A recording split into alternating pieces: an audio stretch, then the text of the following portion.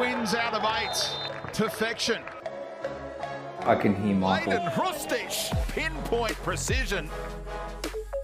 Martin Boyle, the breakthrough arrives.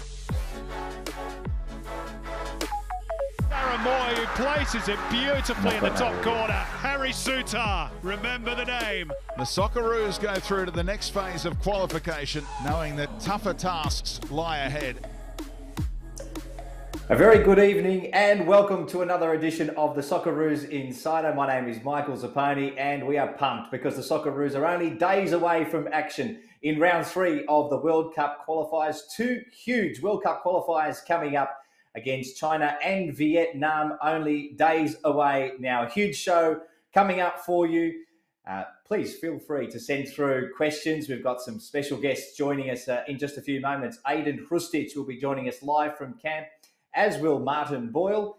Here's a reminder of what's coming up uh, for the Socceroos in the next uh, few days. It's China coming up for the Socceroos as their first home game. It is being played in Qatar, of course, and uh, that game is on at 4 a.m. on Friday for Australian Eastern Time. And then it is Vietnam, a trip to Vietnam and Hanoi is the fixture for the second contest on September the 7th. That's Tuesday at 10 p.m. Australian Eastern Time live from Hanoi. Of course, you can watch all those games live on the 10 network.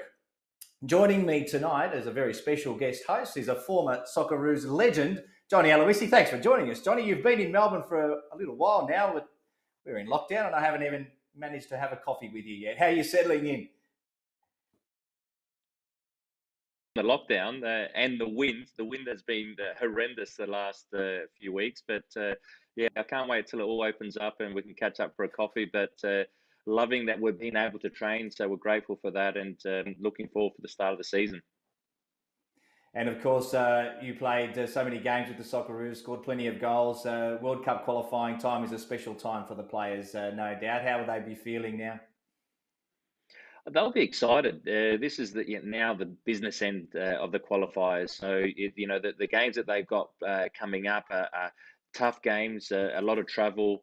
Um, this game against China won't be easy. They're they're a good side with some good players that have improved over the, the past few years.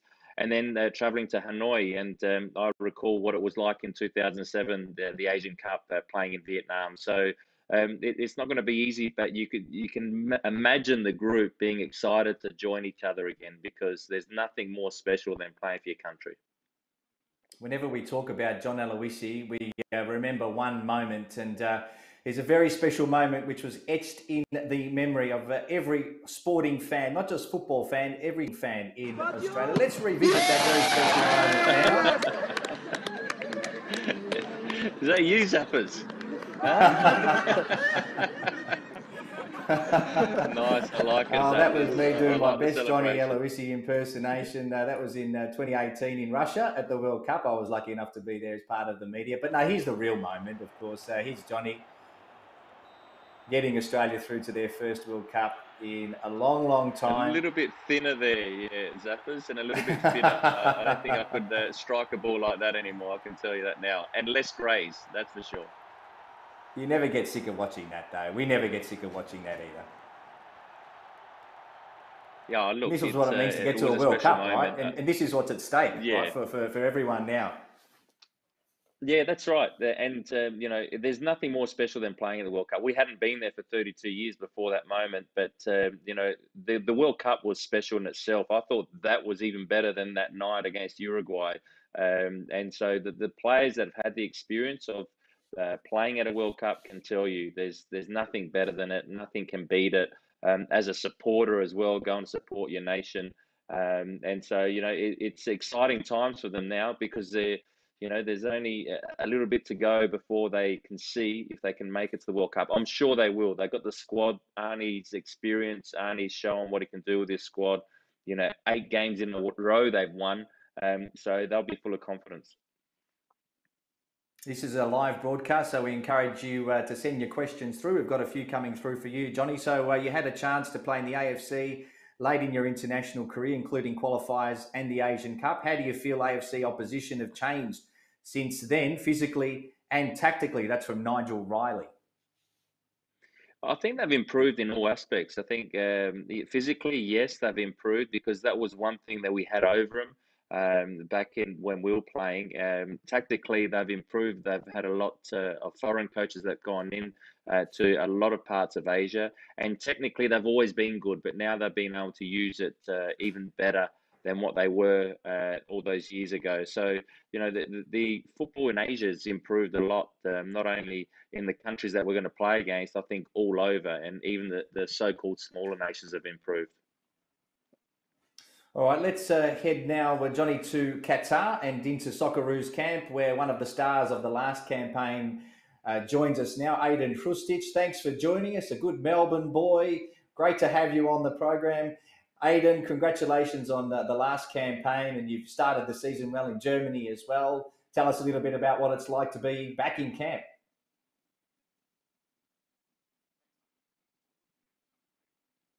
Since uh, we haven't been together, um, it feels great to be back. Obviously, we're a bit disappointed we can't play at home, but it is what it is, and um, you know it feels good to be back with the family.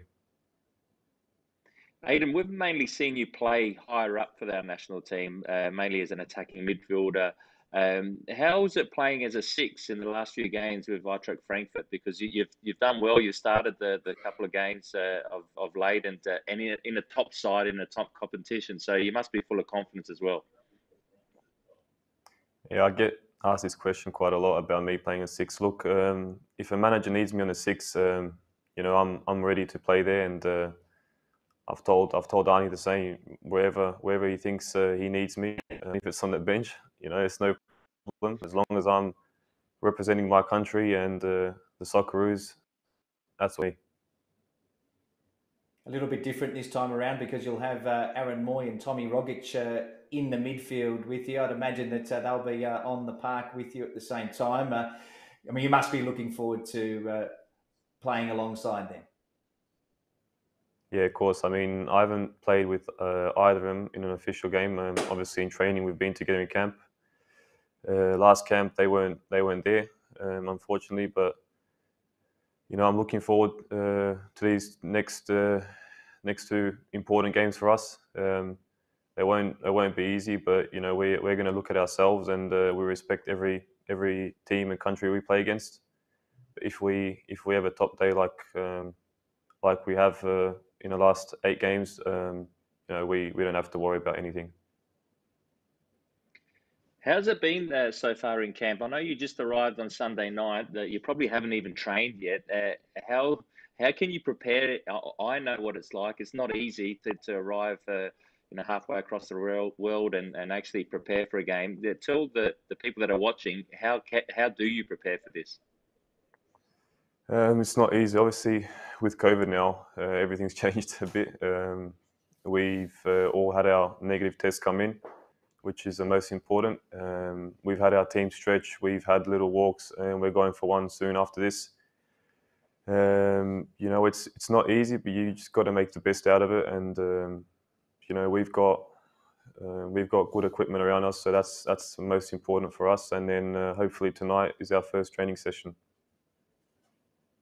And uh, I'm, I'm, told, I'm told, Ajdin, that away from football, there's a, a, fair bit else going on. You're into your fashion a little bit. I've, I've noticed on Instagram. What's this all about? Uh, tell, us, uh, tell, us, what's going on here. yeah, it's a it's a second hobby of mine. Um, you know, I like I like dressing up. I like looking at shoes, clothes, and all that. And uh, as long as I'm out the nightclubs and uh, all I care about is fashion. That's what counts. no, I'm joking. All good. Um, no, uh, you know, it's it's. Uh, I've got a good mate who's uh, who's starting up a brand, and uh, you know, uh, it just got me interested, to be honest. And uh, you know, I got a bit of time off after training sessions, so I try and make the most of it.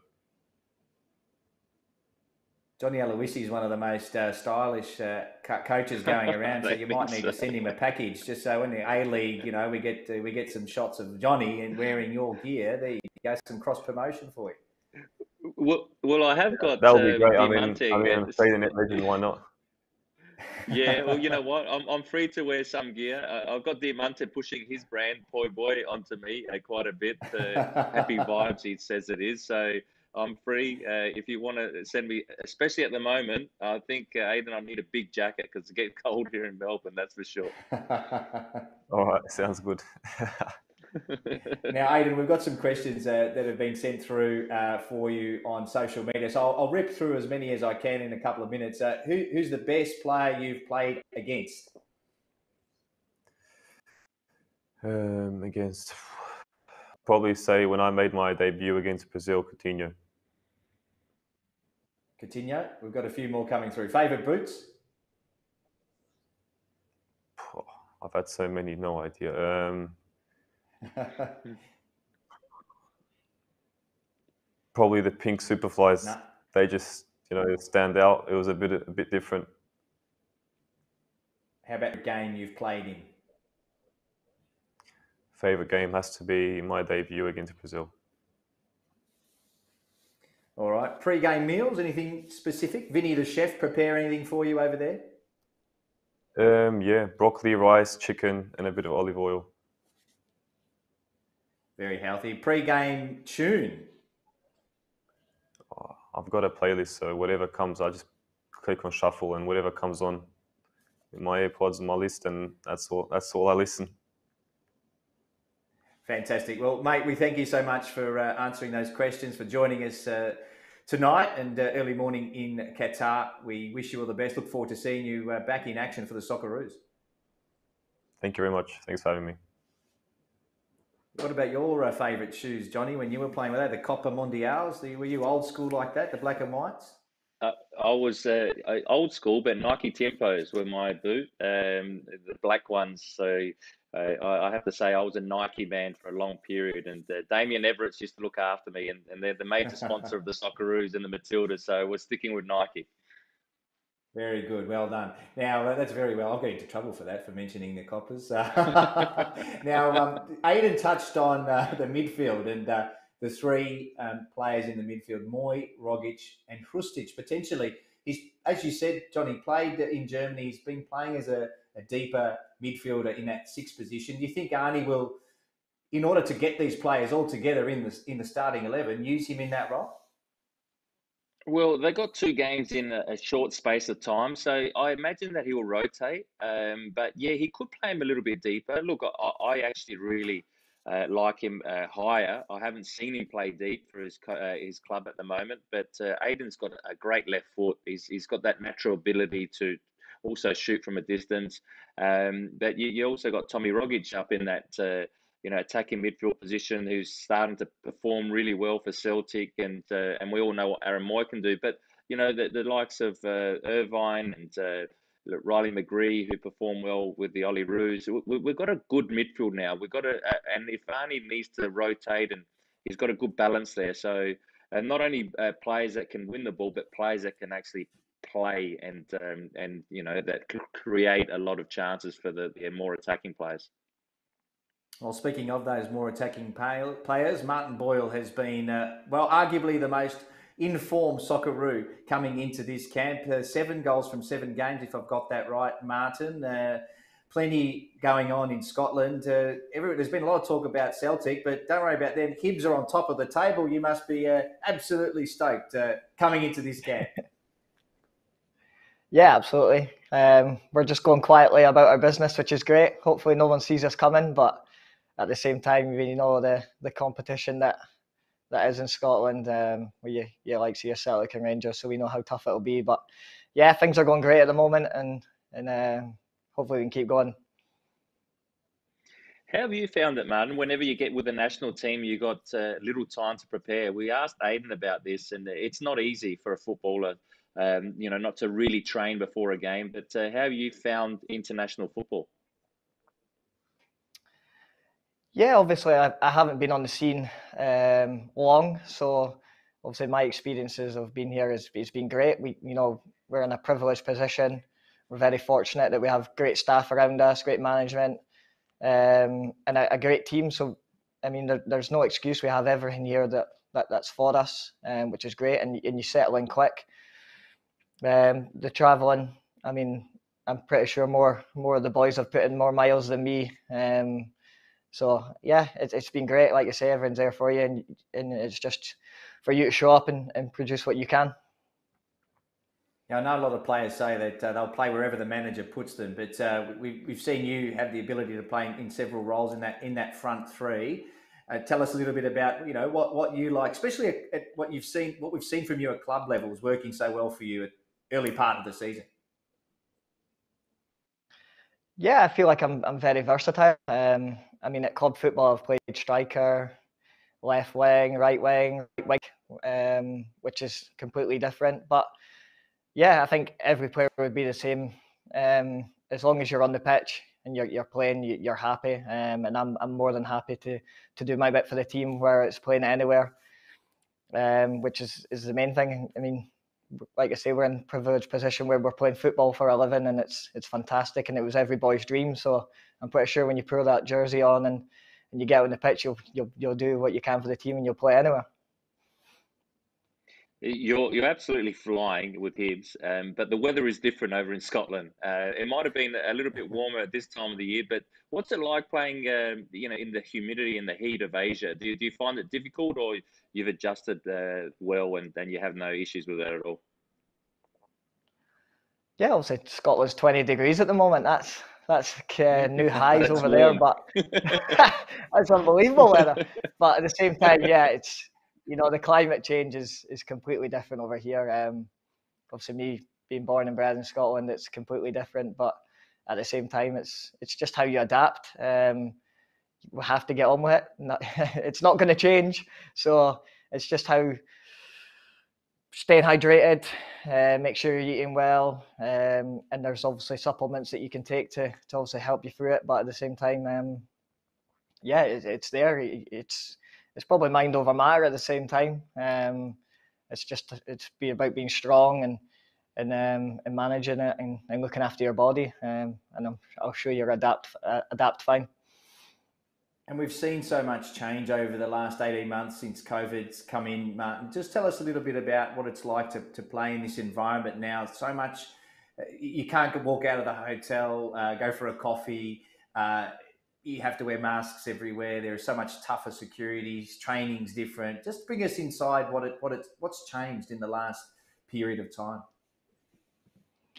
Yeah, uh, obviously it's crazy times. Um, I mean the unknown of you have to wear masks everywhere. Um, travel with the restrictions. Obviously, we, we can't play at home. Um, it's completely different. Um, the sacrifices that some of the, the boys have made to be with their family at the same time. And, you know, there's a lot behind the scenes, probably go further detail. Um, it's, it's just, yeah, it's absolutely crazy. But at the same time, we're still getting to represent Australia, um, which is which is great. You know, we're, we're still getting the pull on the jersey, and we can still, thankfully, manage to get these qualifiers going.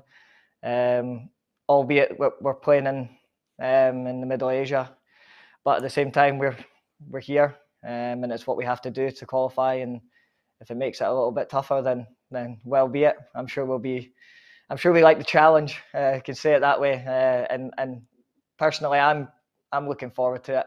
Um, so I'd, I'd like to think that all the all the squad is. Now, before we let you go, we know you've got to go to a gym session. If Andrew Clark, uh, if you're late, then just blame me for this. But um, Ajdin Hrustic huge into fashion. We've picked up some photos of you on Instagram and, and your fashion sense over the years.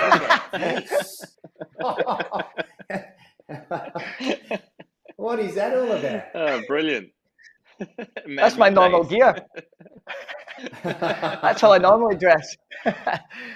no, um, I think there was a few parties in there. I think a few Christmas dues with the with the Hibs boys. Um, so yeah, you've you've caught me on the the, the, the good my good day. Um, I dress up quite well there, but I think the rock one, the first you the first one you put in, it was my wife's brother's stag do. Um, so we are all dressed as wrestlers, so I thought I had to give it a good go.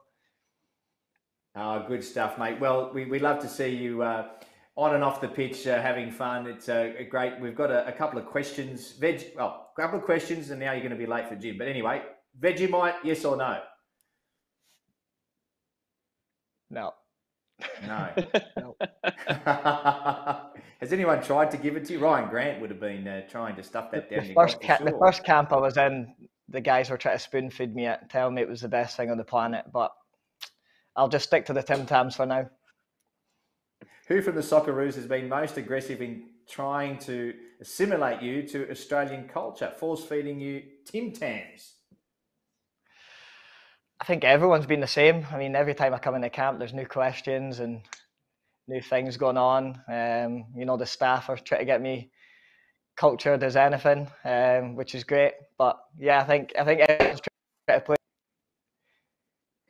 What video game are you playing these days? Asks uh, Lee Broxham Facts.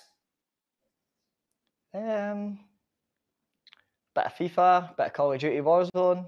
Um, I've been playing the PGA 2K1. Is it the golf game, which is quite good. Since uh, I like to play golf myself, I, I'll stick to computer games because I'm terrible. There's a few decent golfers in that squad as well. I know uh, Trent Sainsbury can hit a mean drive. Matty Ryan's not bad as well. So we look forward to seeing uh, a challenge on the golf course when time allows. Thanks for joining us. Thank you very much. Cheers, guys. Thanks, mate. He's a great character, Johnny. Uh, I've, I've been lucky enough to, to spend a bit of time with him in, in, in camp, and uh, uh, one of those players that you'd love to have around as well. And, and what he's done since being in the squad has been fantastic. And coming in with red hot form, you know, as a, a player, when you're in red hot form for your club, it, it often translates to form for your country. It does, and um, you know you, you've got that confidence. He's got pace, uh, which you know defenders hate, especially when they start running at you or running in behind. Um, and yeah, he's scoring goals at the moment for Hibs, which who are doing very well. And and you know you want those characters in your side, especially when you go into camp for a long period. And I know uh, this camp probably shorter than most that they go into, but you need that uh, entertainer. You need that that guy that's uh, always making you laugh um, because you know sometimes camps can get a little bit uh, um, boring at times, and you're doing the same thing every day, and uh, there's not much going on. But uh, you know those players, uh, they're so important for uh, the team morale. Don't forget to send your questions through. Johnny Aloisi will stay with us for the next few minutes uh, before we wrap things up. And Johnny was happy to, to answer your questions uh, about the Socceroos coming up shortly, Johnny. But before we do that, let's talk about that front three. Martin is an important part of that. But uh, obviously, no Matt Leckie, no Jamie Maclaren for this camp. Um, how do you see Adam Taggart coming into this camp? He uh, was in red hot form a little while ago, has had some injuries recently, and uh, has just got back to playing in the last camp, uh, he, he had a bit of an injury, so didn't play much for Graham Arnold. But he's that number nine that uh, that that Arnie, uh, you know, will want to use. I'd imagine. Yeah, he's uh, uh, Tags is a natural goal scorer. He, you know, his movement in the box is very good. He can also link up, but he's uh, one that will get on the end of things quite well. And you know, James Maclaren is not there obviously because you know, uh, being here in Australia, a lot of the players uh, Arnie didn't select, but um, you know, it's an opportunity for uh, Taggart because you know, he's shown glimpses of what he can do for the national team. Having worked closely with him, he's he's a top striker, and uh, his movement uh, is great to get away from defenders. Um, he understands the game really well, and I'm looking forward to see if he, he when he does play, because I'm sure he'll play a part in these two games that goal he scored there, we just saw against Jordan. Uh, you can't uh, underestimate the, the importance of that win that uh, Australia had had in Jordan. Pressure cooker environment, full crowd there, and he took that chance. Daniel Arzani is another one that uh, we love to talk about. Australian football fans love to talk about. Uh, he's back in the Socceroos uh, set up now for the first time since the World Cup in 2018. One of the things I suppose that frustrates fans most about Daniel is he's so much potential, and we want him to realise that potential. How do you see where he's at in, in his career? Look, we would have loved to have seen Daniel Arzani play a lot more uh, over the last four years, uh, um, but you know he's uh, in a good space at the moment. Uh, going to the Olympics, um, you know Arnie uh, has given him that confidence. He looks fitter um, than I've seen him for a long period. And he's got that X factor. You know, he, he can glide past players. He also showed good work rate uh, at the Olympics, and uh, and Arnie likes that, and, and he and he wants that in his side. But um, you know, he's one of those players that uh, every time he gets the ball, you're at the edge of your seat because you, you sense something is going to happen, and uh, and that's why he's so um, liked by the Australian public. That's why we're expecting even more from him. Um, and let's hope that uh, in these two games that he shows again what he's capable of doing. And then again with his club side because uh, he needs to play regular football for him to show what he can do at uh, at the highest level. All right, a couple of questions uh, for you, Johnny, from uh, from our fans. Which countries in our group have improved the most, and which countries have the most intimidating atmosphere? That's from uh, John Astra Smith, the Zeneca. Good on you, John. That's not bad. Um, oh, look, they've all improved a lot. Look, Japan is uh, is one of those sides that we know really well, and uh, and we always find it tough against them. And even over there, you know, the, the atmosphere is always good. Um, intimidating. The, the Saudi uh, fans are quite intimidating when you go there.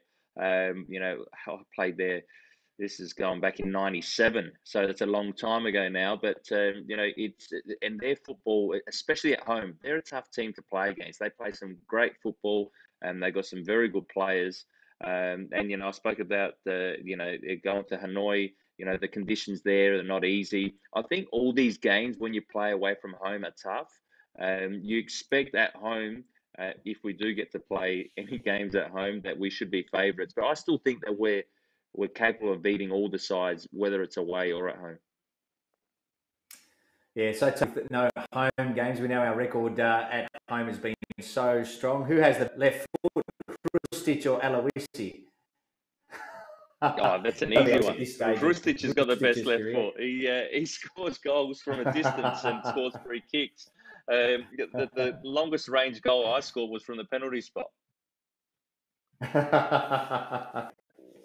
Uh, good stuff, Johnny.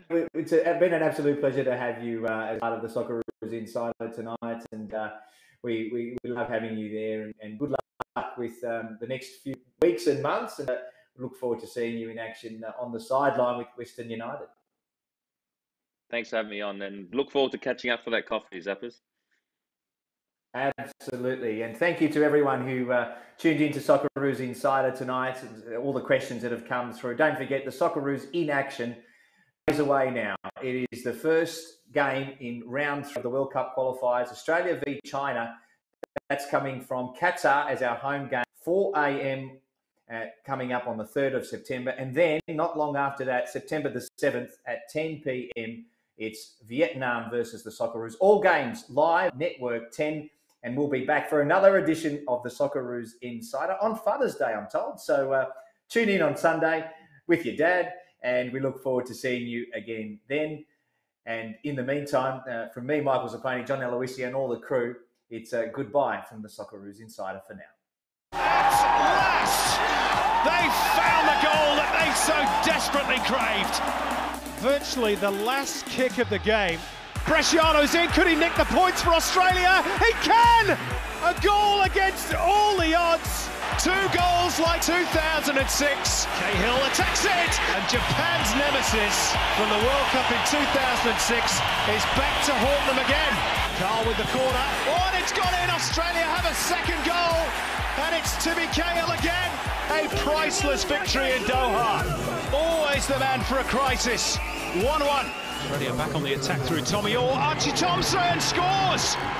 2-1 Australia. What a turnaround for Holger Osieck's team. The Roos get the job done in style. He cruises away and Bresciano scores! Just what the doctor ordered for Australia. Kruse the floating, there's Cahill! Kruse turns inside the box. Robbie Kruse! That'll do it for the Roos. 3-0 and it's flicked up towards Lucas Neill! His first international goal. Brazil, here we come. Bresciano to Curlin Kennedy! Cue delirium in Sydney. It is three in a row for the Socceroos as they book their tickets for Brazil.